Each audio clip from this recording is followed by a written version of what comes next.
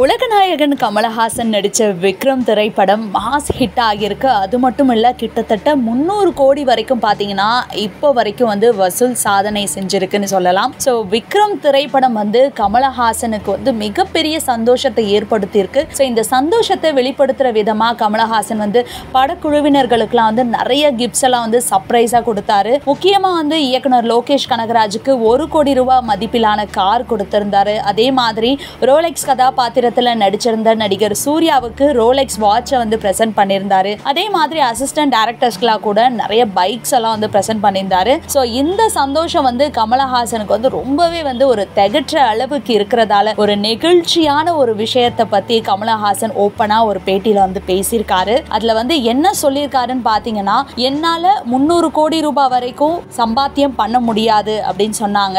ஆனால் இன்னைக்கு நான் முந்நூறு கோடி வரைக்கும் சம்பாரிச்சிருக்கேன். ஸோ இந்த காசு எனக்கு போதுமானது. இதை வச்சே வந்து என்னுடைய கடனெல்லாம் நான் அடைச்சிருவேன். வயிறார சாப்பிடுவேன். என்னோட உறவினர்கள் மற்றும் நண்பர்களுக்கு என்னால் முடிஞ்ச பணத்தை கொடுப்பேன். பணம் இல்லனா இல்லைன்னு ஸ்ட்ரெயிட்டாக சொல்லிடுவேன். நான் வள்ளலாம் இருக்க விரும்பல. ஆனா ஒரு நல்ல ஒரு மனுஷனா இருக்க விரும்புறேன் என்னை படம் பண்ண விடுங்க அப்படின்ற மாதிரி கமலஹாசன் ரொம்பவே நெகிழ்ச்சியோடு ஒரு விஷயத்தை வந்து பேசியிருக்காரு. ஸோ இப்போ அவருடைய வாழ்க்கைக்கு மிகப்பெரிய திருப்பு முனையா விக்ரம் திரைப்படம் அமைஞ்சிருக்கிறதால ஸோ இந்த படத்துடைய வெற்றியை அப்படியே கையில வச்சுட்டு அடுத்தடுத்த திரைப்படங்கள்ல ரசிகர்களுக்காக வந்து சிறந்த படங்களை கொடுக்கணும் அப்படின்ற நோக்கத்துல கமலஹாசன் இப்போ நடிக்க போறாரு. ஸோ இந்த ஒரு விஷயம் வந்து இப்போ ரீசெண்டாக சோஷியல் மீடியாவில் வைரல் ஆகிட்டு இருக்கு.